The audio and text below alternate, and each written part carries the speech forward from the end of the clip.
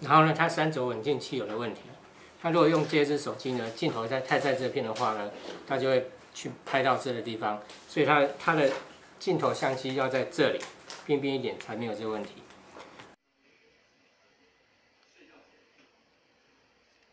那网络上没有看过这个问题，所以买回来的时候我就觉得很奇怪，什么每次录影都录到边边，后来再找到这一只手机，它的镜头是在左边的，才不会录到这里。因为它的镜，因为它镜头比较广，这镜头比较广，所以才会拍到边边。如果像 iPhone 那种手机，它镜头没那么广的话，它就不会去拍到边边了。